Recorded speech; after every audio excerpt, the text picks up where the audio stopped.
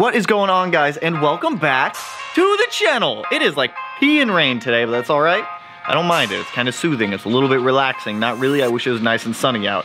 So today we're going to be doing all the fuel line in the STI. We're going to be doing DIY fuel line. So I'm going to show you guys how to make AN lines using braided fuel line. Uh, I got this kit from IAG. Now originally this kit is for the stock fuel pressure regulator, but we're gonna be using an Aeromotive A1000. The Aeromotive A1000 is pretty much my go-to fuel pressure regulator. You guys have asked me in the past, uh, what fuel pressure pressure regulators do I recommend? 100% Aeromotive. So there's a couple fittings that I had to order to make this work with the Aeromotive fuel kit, but I'll show you guys kind of everything that goes like with this kit, how to do fuel line, how to set everything up. We are gonna have to make a custom bracket for the fuel pressure regulator, but it's not something that's gonna be terribly hard. So in our engine bay, we need to do all the fuel line stuff. Now you guys are gonna see that the air oil separator is in here with some of the lines done. Uh, I started installing that. I am working on the video on that one, but I can't finish the video till obviously everything else gets put back in the car. Um, so just don't, don't worry about the air oil separator right now. But we've got fuel rail over here, fuel rail over here. We need to connect that up to those fuel lines up there with our fuel pressure regulator. So what I have over here is obviously the Aeromotive A1000. So you're gonna have to order some Dash 6 ORB fittings if you don't buy the correct kit like I did. If you buy the correct kit, it'll come with absolutely everything you need. So we have our fuel pressure regulator, our three fittings. We have our fuel pressure regulator gauge. This is this is what I was gonna use on the 17 STI uh, before we ended up doing the digital fuel pressure sensor. So that'll work just fine for this application. We have all of our fuel line here. I did get started started and did do a test line last night just to make sure that I was able to do these. Um, I did have a small issue with this, but I'll show you what that was. It was just me being a little bit stupid. We have our adapters for the stock fuel rails or the fuel line coming out of the firewall of the car. Couple of like T fittings and vacuum lines for the reference off of that, but I don't think we're gonna need that too much, but we'll, we'll see. Uh, we have a couple T fittings for the fuel line, and then we have these nice little hose crimps. Uh, I may have to go out and buy a special tool for these, but we can at least get everything somewhat set up before we have to crimp those down. So what we need to do first, or what I'm gonna start doing first, is I'm gonna get the fuel rails on the front side, the front close aside. those are gonna feed into a T fitting that we're gonna put like right up here. And then once we get that T fitting done, uh, we'll probably mount up the fuel pressure regulator just so that way we can do like line length on absolutely everything else, get everything else situated. But for the most part, we can start off easy, get these first two fittings done, uh, and I can kind of walk you through how to make this fuel line. Before we jump into it, a couple tools that you guys are gonna need also is an AN wrench. I just have an adjustable one. It's been working just fine. Uh, some type of hose cutters. I've used these for a lot of things. These things are awesome. I'll link all these tools down in the description as well. Um, I also have some scissors that have been working fairly well too, just to clean up a little bit of the fraying coming off of the line. Uh, we have a tape measure just to be able to measure line, and then you're gonna need AN uh, vice jaws. So they're just inserts that sit inside of a vice. They have magnets on the back of them. They have this nice recess right here for fuel line, and then they've also got two more for AN fittings in there. So let's get the camera set up and I'll show you guys how to make some of this line, and then uh, we can go from there. All right, so first thing you obviously gotta do is cut your line length. So I just went up in the engine bay, cut line length on this, just took measurements just to make sure that we were all good. Next up, we have to assemble the line. So these AN fittings come apart in two pieces. So if you unscrew it like so, you've got like this weird like nipple looking piece on one end and then you've got like this threaded insert on the other. Now, whenever it comes to installing these, I, when I first did this, I thought you just like shove it right on there. These little nuts are reverse threaded. So instead of lefty loosey, righty tighty, it's righty loosey, lefty tighty. So they're, you literally just reverse thread them on. So you're gonna push and reverse thread and they just go right on. Don't try to do what I did and try to do the opposite way because it's not gonna work. It's just not gonna work out for you all that well. So you're just gonna get the AN fitting pretty snug in there you don't need to go all the way, but there is like a small retaining wall that you're gonna wanna get close to, so I'd say that's probably about good right there. I don't really know if you guys are gonna be able to see inside of that line, but inside of there, there's a small retaining wall that stops the line from going any further out. So once you've got the line kind of set up in this fitting, now we gotta throw it in the vise. So now on the vise, you can see like the two little like jaw guys. We're just gonna slide our AN fitting down in there. Get it nice and snugged up so it doesn't move. Now, some of you guys are like, why do you need these why do you need these weird like vice attachment things? Well, AN fittings are aluminum, obviously, and the aluminum can damage easily, so the steel or the iron on the vice, whatever type of vice you have, uh, will just chew into the AN fittings. Nobody wants that. So now we're ready to just get this guy on there. So it literally just threads right in. Before you go to thread this in though, uh, make sure you do put like a small dab of oil on that line. I need to get a little bit of oil on my finger. There we go. So I got a little bit of oil on my finger. I'm just gonna lube up the threads. I mean, you can do it dry. I wouldn't suggest doing so though. I mean, you could damage it. Like I said, these are aluminum and uh, they damage pretty easily. So now, just start threading this guy in. Oh yeah. Oh yeah, get in your home. Wipe off like the excess oil that's on the outside of that. Now we can just start tightening this guy down. Bam, that's pretty tight right there. You don't need to like really, really like crank on it, but just get it tight. Now we have fuel line we have an AN fitting on our fuel line. So now we can go fit this up in the engine bay and I'll kind of show you guys where I'm routing these. You can route them pretty much however you want. Uh, line length is obviously gonna be the biggest contributing factor to how much line you have. If I run out of dash six line, I'll order a little bit more. I foresee that I might, uh, but you know what, we'll figure that out when they when we get there. So let me get this line in the car and then uh, I'll show you guys where I'm routing them all.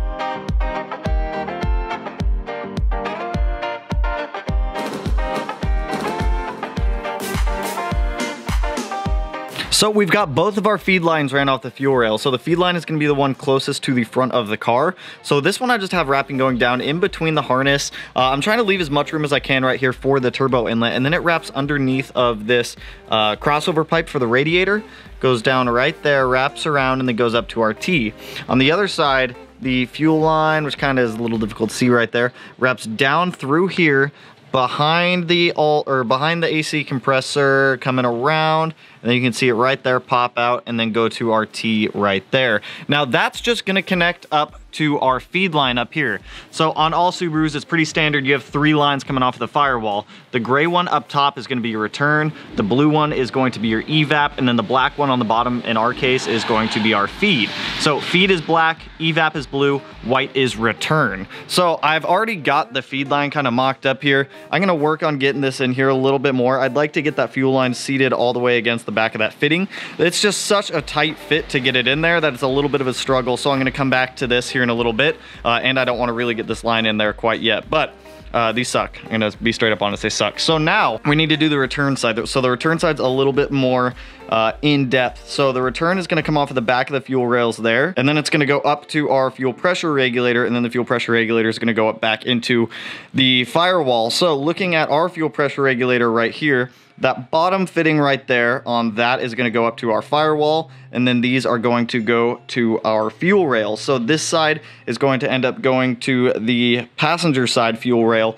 while this side goes off of the driver side fuel rail. But we can't start making those fuel lines yet because we need to find a spot to mount this fuel pressure regulator and get it mounted up. So uh, let me like find a spot where I want to put this in the engine bay. Once I get that spot found, uh, we'll either make a bracket, mount it up, and then we'll start doing more fuel lines. So I think I know where I'm going to put this. Um, I did put the gauge on there just to see like clearances, but on the manifold here, there's like two bolts that I'm not using anymore. So I feel like I can make a bracket to make the fuel pressure regulator sit right there it would sit a little bit higher than everything else, but it's still easily accessible. I can keep the washer bin. That port on the right side would just go down to that fuel rail right there with two 90s. That would be easy. That bottom port right there would go up to the feed line, which would be easy. And then that left port, I would have to feed down under the manifold over to the rail on that side, which isn't too bad. It just means we might have to order some more fuel line. Uh, but I think I'm gonna whip up a bracket real quick just to be able to mount this guy like right there.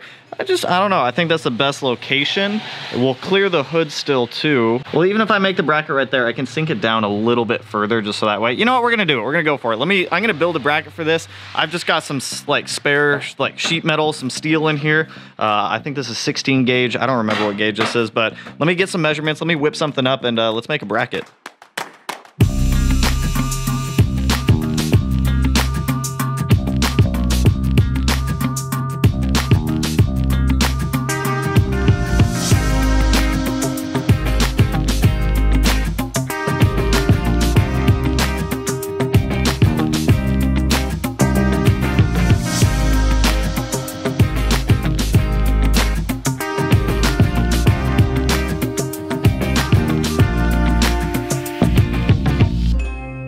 So I think I've got this bracket pretty much figured out. It's very difficult to make this bracket for this fuel pressure regulator because I don't know where the intercooler piping is 100% going to sit. I've been looking at a lot of photos of front mounts on like GD chassis cars and it looks like we're gonna clear and it looks like we're gonna be good. This is like iteration two or three of bracket. Uh, I ran out of material on the bottom of it, so one side is zip tied, one side's bolted on, but it's like on there, it's not going anywhere. So I did test fit one of the 90s down there and we do clear the fuel rail because that was one of my biggest issues with this.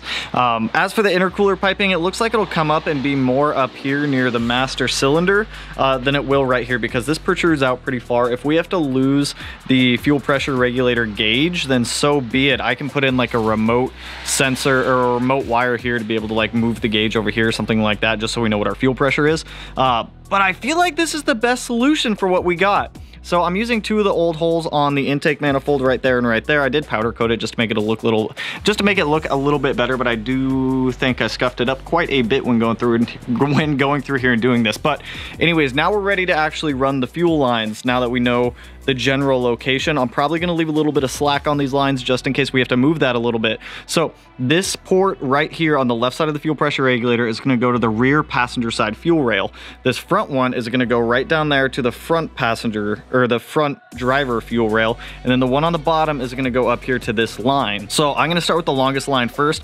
I'm gonna do this one right here and then wrap it down and around to the other fuel rail over there just so we can get routing. I think I'm gonna end up coming like through the TGVs and then coming up to like right here, just having it come up. So let's get another line made and uh, hopefully everything works out in our favor here.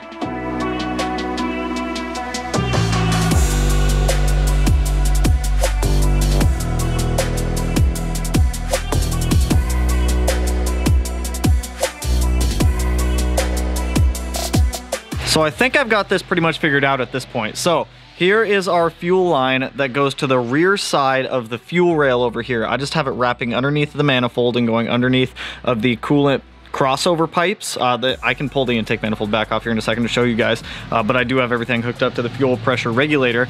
Uh, I don't know if I'm gonna be able to run the gauge because I'm so curious if this is actually going to clear the intercooler piping. I know it will without the gauge but with the gauge the gauge just sticks out a little bit further so I'm not entirely sure on that aspect. Uh, we have our return line going from the bottom of the fuel pressure regulator up to the thing up there. It's just loosely set on there right now. But here's where I'm having a problem and I can't actually finish the fuel line today. So right down there on the fuel rail, you can see a 90 degree fitting.